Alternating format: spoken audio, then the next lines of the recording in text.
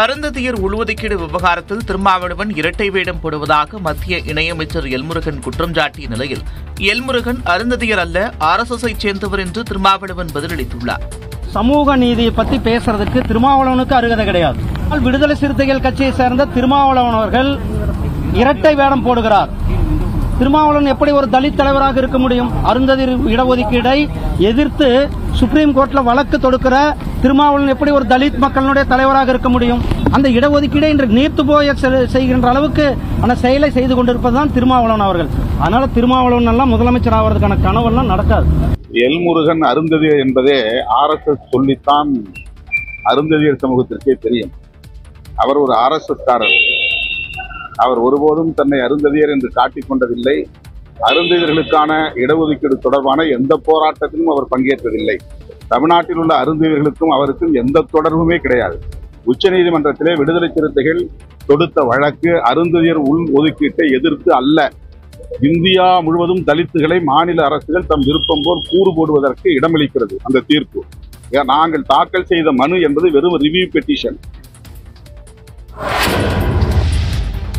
தமிழ்தாய் வாழ்த்தை நாம் தமிழர் கட்சி ஒருங்கிணைப்பாளர் சீமான் அவமதித்து விட்டதாக பள்ளிக்கல்வித்துறை அமைச்சர் அன்பில் மகேஷ் விமர்சித்திருக்கும் நிலையில் இது தொடர்பாக தன்னுடன் நேருக்கு நேர் விவாதிக்க தயாரா என்று அமைச்சருக்கு சீமான் சவால் விடுத்துள்ளார்.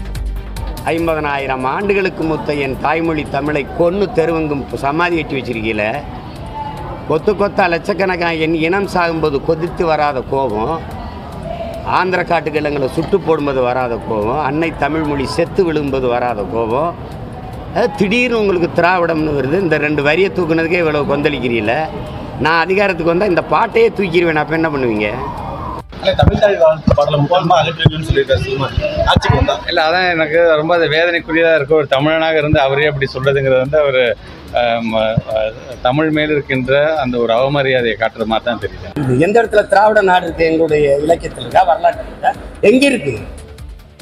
தமிழன் இல்லாதவன் வசதியாக வாழ்வதற்கு ஆள்வதற்கு நீ கொண்டு வந்து வச்சுக்கிட்டு திராவிடன்னு என்னை ஏத்துனா என்னை ஏத்துக்க ஏத்துக்கன்னா எப்படி? அன்பில் மகேஷ் என்னோட பேச தயாரா இருக்காரா? அவர் ஒரு இடம் சொல்றாரா? ரெண்டு பேரும் பேசுவோமா? ஒரு இடத்துல உட்காந்து பேசுவோமா? என்ன சேட்டை இது?